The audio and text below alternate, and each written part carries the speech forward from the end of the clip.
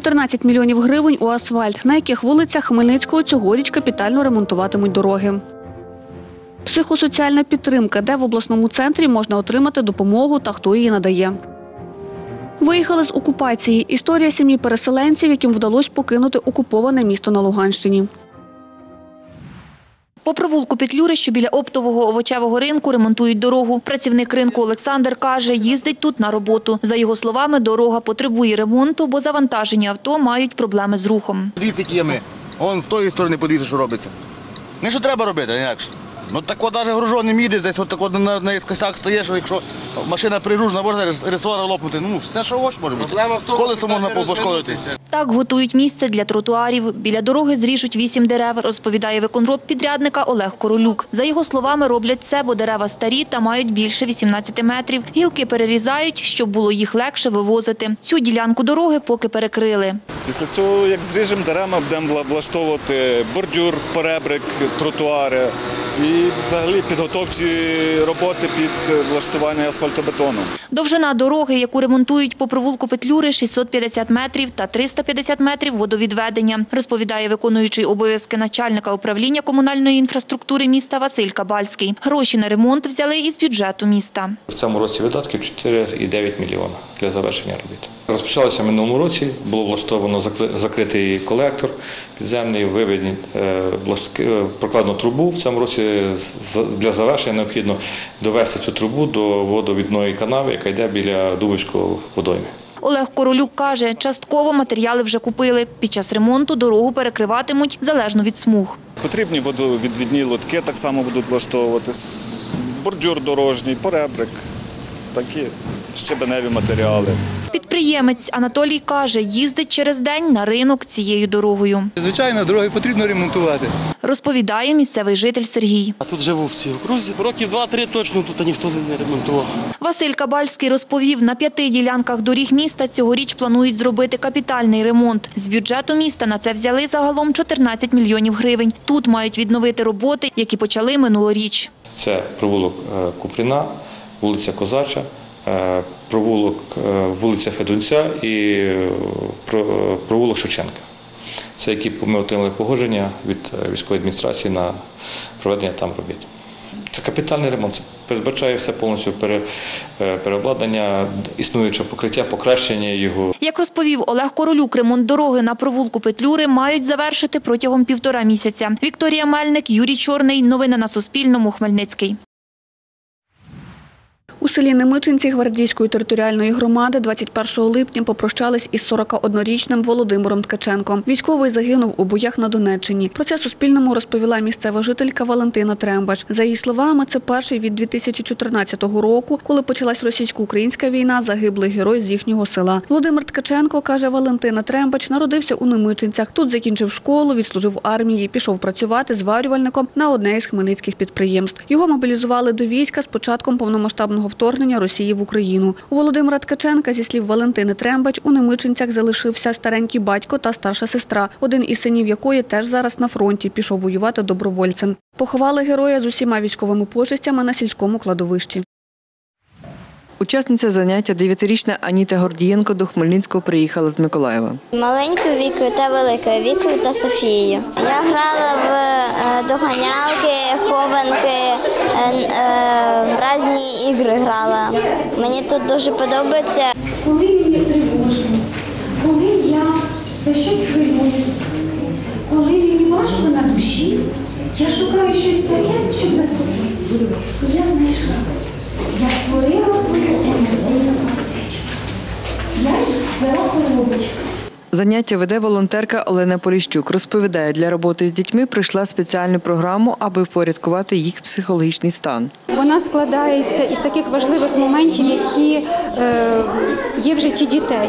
Це комунікація, знайомство, тому що діти, які переселилися з інших міст е, в наші міста, відчувають брак спілкування, відчувають брак друзів. Тут в ігровій формі, е, здійснюючи різноманітні маніпуляції з предметами, діти можуть комунікувати, встановлювати стосунки, навіть дружні. За словами Олени Поліщук, сьогоднішнє заняття це створення емоційної аптечки. Ця коробочка, ця емоційна аптечка дає можливість дітям е, збирати оті цікаві, ті натхненні, ті сакральні речі, які допоможуть їм у цьому. Вони створюють її своїми руками, оздоблюють коробочку своїми руками. Керівник групи студентка Хмельницької педагогічно-гуманітарної педакадемії Софія Іванова каже, з волонтерами Червоного Христа це третє заняття групи. Та на базі педакадемії проходить вперше. У нас 12 дітей нині. У нас декілька дітей внутрішньопереміщених. Вони з різних міст. Є з Миколаєва, є з Харкова, є з Чорноморська. І вони між собою добре поєднали. У нас 5 внутрішньопереміщених дітей зараз. На даний момент діє 10 локацій, які забезпечили необхідними матеріалами, каже лідерка локації Червоного Христа України на Хмельниччині Світлана Вільчинська. Це е, повний підбір матеріалів, якими ми можемо працювати з е, дітками внутрішньопереміщеними е, і відповідно вікові категорії від 0 років до 16. Ми працюємо як волонтери. Ми забезпечуємо адаптацію дитини до нормальних життєвих умов. Поки що проект діє до грудня 2022 року. На цьому проєкті задіяні волонтери зі спеціальності психологія, дошкільна освіта, хореографія. Тобто це ті напрямки, де студенти дуже гарно вивчають вікову психологію, вивчають діток. А тут ще можливість допомогти пройти якісь стресові ситуації, психологічна допомога, соціальна допомога. Тому такий тендем. І це, що ми підписали е, меморандум із Червоним Христом, це дуже гарний такий досвід для наших студентів. Тетяна Ворожцова, Віктор Кривий. Новини на Суспільному. Хмельницький. Сватівчанка Людмила Бабенко розповідає, бойові дії у місті тривали протягом тижня. Місто не постраждало, лише його околиці. Втім, після настання повного тиші вони зрозуміли, їхнє сватове окуповано росіянами. Техніка зайшла. Этот, вони окупували. У нас є е, школа глухонімих, це обласна школа була. Вони там заселилися спочатку. Потім вони техніка була. Потім вони ще говорили, якісь приміщення забрали під свої, під, щоб людей розселяти своїх. Це. Багато було техніки, було багато колон йшли через місто. Зайшовши в українське сватове, російські окупанти одразу почали встановлювати свої правила, каже Людмила Бабенко. Зразу почали е, міняти гроші, говорити про це, що буде інша держава, буде і інші правила будуть. Але у мене двоє дітей, які навчалися, вони є громадянинами України, і вони ми вирішили, що ми все-таки будемо жити на території України. Родина Бабенків зібрала речі та виїхала вже з окупованого міста. Брат чоловіка Людмили запросив їх до Хмельницького, тож родина вже знала, куди їхати. Тут чоловік знайшов роботу водія, а Людмила стала на облік до центру зайнятості. Говорить, нині шукає роботу. В одному магазині сказали, я, ми не хочемо вас вкладувати, тому що ви повернетесь додому. В іншому магазині просто підписали документ, що ми в ваших умов- услугах не потребуємо. Потім жінка випадково потрапила до центру адаптації переселенців, який у Хмельницькому відкрила родина з Маріуполя. Там жінка відвідувала заняття з йоги, вивчала англійську та німецьку мови. А потім їй запропонували співпрацю, і Людмила погодилася. Допомагаємо людям в пошуках роботи, в пошуках житла. Це сам на мабуть на, на цей момент сама така велика проблема у людей. Старший син Людмили Андрій також відвідує курси з англійської та німецької мов. А от російську мову, якою розмовляв до окупації свого міста, каже, видалив зі свого життя. До окупації в мене на телефоні була російська мова, клавіатура стояла. Після окупації я видалив її і поставив лише українську. Є англійська та німецька ще. Більше нічого немає. Розмовляю з друзями, які виїхали за кордон лише на українській, е, підтримую з ними зв'язок. Зараз Андрій готується до здачі ЗНО та вступу до університету. Разом з родиною вірить, над Луганщиною знову замайоріть синьо-жовтий стяг. Олена Коновалова, Іван Мовчан. Новини на Суспільному. Хмельницький. Станом на 22 липня від початку повномасштабного вторгнення Росії у бою з українськими захисниками загинули 39 тисяч російських військових. Противник втратив 1704 танки та 3920 бойових броньованих машин. Збройні сили України знищили 863 артилерійські системи та 251 реактивну систему залпового вогню. Від 24 лютого українськими військовими знищено 221 літак, 188 гелікоптерів та 167 крилатих ракет. За 149 днів повномасштабного вторгнення Росії на територію України ворог втратив 15 кораблів та катерів. Сьома хвиля ковід-пандемії, коли очікувати на Хмельниччині та який штам викликає значне поширення коронавірусної інфекції. Допомога від першої леді 16 тонн гуманітарного вантажу надійшло в область із сусідньої Польщі. Діти малюють картини на військових шоломах та армійських флягах, який подарунок готують для президента. Хмельничанин Микола прийшов отримати третю або ж першу бустерну дозу вакцин від ковіду та каже, чому вирішив щепитися. Дивлячись інтернет і трохи дбаючи про своє здоров'я, я думаю, що треба робити третю, тому що багато є випадків, що люди помирають від того ковіду. Так що хочеться пожити.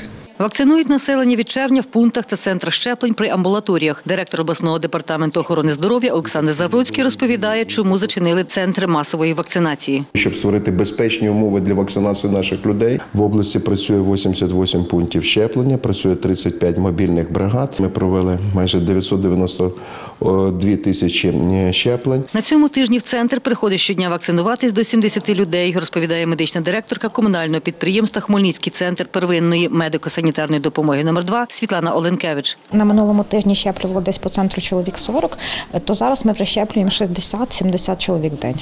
Більшість людей, які приходять нас на вакцинацію, це бустерні дози. За її словами, в цьому центрі щеплюють вакцинами Коронавак і Pfizer. У нас в наявності е, дві вакцини: це Коронавак і Pfizer. Коронавака є в достатній кількості. Pfizer в нас на даний момент в центрі залишилось десь біля 300 доз. Четверту дозу або ж другу бустерну, каже медична директорка, профільне міністерство дозволило робити з 19 липня, але не всім. То люди після 60 років, люди з якимись хронічними захворюваннями, з імуносупресією, і люди, які знаходяться в інтернатних закладах, і люди, які за ними доглядають. Людей цієї категорії, розповідає Світлана Оленкевич, щеплюватимуть вакциною Pfizer, якої буде в достатній кількості в серпні, каже директор обласного департаменту охорони здоров'я. Нову партію Pfizer ми отримаємо на початку серпня. Сьомої хвилі епідемії в Україні та в області слід очікувати восени, каже лікарка-епідеміолог Державної установи Хмельницький обласний центр контролю та профілактики хвороб Міністерства охорони здоров'я України Олена Іваськів. Наразі вже зареєстровано е, ріст захворюваності на ковід в європейському регіоні. Е, Це свідчить про початок нової сьомої хвилі е, підвищеної захворюваності, і ми очікуємо з часом, що це дійде і до України. На сьогодні в області е, зафіксовано незначний ріст захворюваності. Щоденно у нас на лікуванні перебуває в всіх закладах охорони здоров'я області не більше 20 хворих. І це включається хворі на ковід і з підозрою на ковід. За його словами, в області вже готуються до сьомої хвилі епідемії. Шість закладів вони отримають пакет готовності надання допомоги хворим на COVID-19. Е, Кількість ліжок достатня, що для дорослих, що для дітей. Завершуємо введення в експлуатацію кисневих станцій. Це 13 е, кисневих станцій. Чергову хвилю епідемії викличе мутований вірус Омікрон, каже Олена Іваськів. Захворюваність характеризується е, коротким інкубаційним періодом і е, легкістю передачі збудника від людини до людини. За її словами, щеплення сприяє легшому протіканню хвороби, і населення області про це знає та вакцинується і під час воєнного стану, хоча темпи знизилися. За час воєнного стану щепилося 76 тисяч осіб. За її словами, 43% від цієї кількості щеплених під час воєнного стану це імунізація третьою або ж першою бустерною дозою вакцини. Світлана Поробок, Іван Мовчан, Олександр Горішевський. Новини на Суспільному. Хмельницький. З початку року відділом водної поліції в області задокументовано шість фактів браконьєрства. Про це розповіла речниця Кам'янець-Подільського районного управління поліції Тетяна Чубар. За її словами, під час рейдів вилучили 22 сітки. Також затримано шість осіб, які кермували моторними човнами та катерами в нетверезому стані. Десятьом особам наклали штрафні санкції за торгівлю рибою без відповідних документів. З початку року, за словами речниці Кам'янець-Подільського районного управління поліції, водним відділом поліції разом з іншими службами проведено 41 рейд.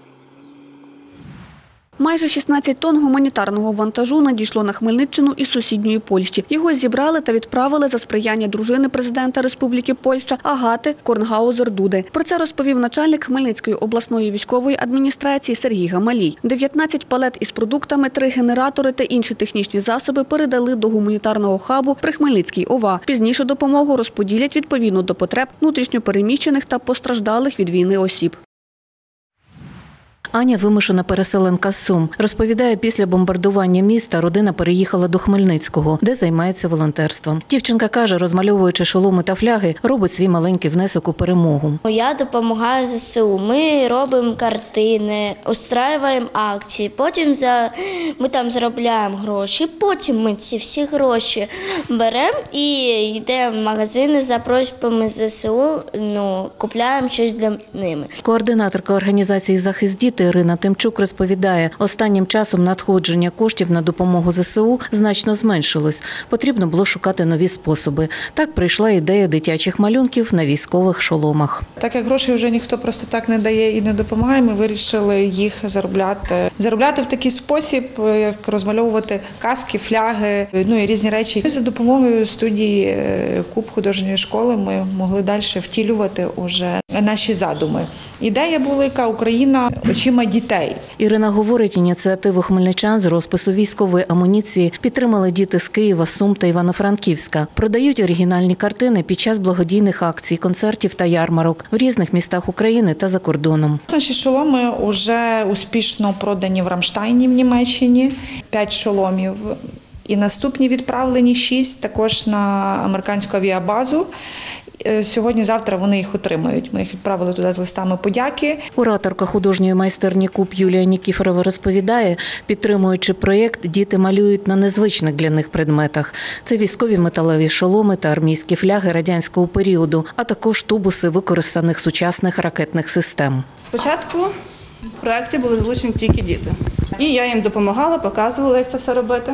Е, Потім підключилися вже викладачі, е, старші люди, е, які у нас навчаються. Спочатку це було 39 касок, ми їх ґрунтували.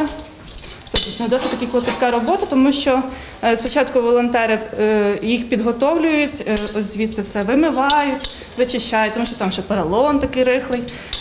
Далі дітки ґрунтують. Далі ми вже почали фантазувати. Від початку війни Юля написала декілька картин. Каже, не хотіла зображати страждання, тому її жіночі образи символізують відродження України. Дозволила собі вилити біль та злість лише на тубусі з використаної зброї. Ось це е, було буквально за не знаю три години після того, як стався теракт у Вінниці. В мене якась була така злість. Зобразила мертвого російського солдата, який зацвів соняшники Херсона. Написано: е, ти ж хотів землі цієї, тож тепер змішайся з нею. Одну із картин на шоломі художниці-волонтерки вирішили подарувати президенту України Володимиру Зеленському, розповідає авторка розпису Вікторія Щудляк. Шолом я десь малювала протягом семи днів за мотивами нашої української відомої художниці Марії Примаченко. Робота її українське весілля, мені здається, е, ідеально показує наші українські традиції. Та мотиви ми би хотіли би подарувати це нашому президенту як символ того, що ми обов'язково переможемо, і щоб це був його оберегом. Наталія Поляниця, Олександр Горішевський, Іван Мовчан. Новини на Суспільному. Хмельницький. Більше новин Хмельниччини шукайте на нашому офіційному сайті Суспільне.Медіа, де у розділі регіони обирайте Хмельницьку область та на офіційних сторінках у соціальних мережах Facebook, Viber, Telegram, Instagram та YouTube каналі.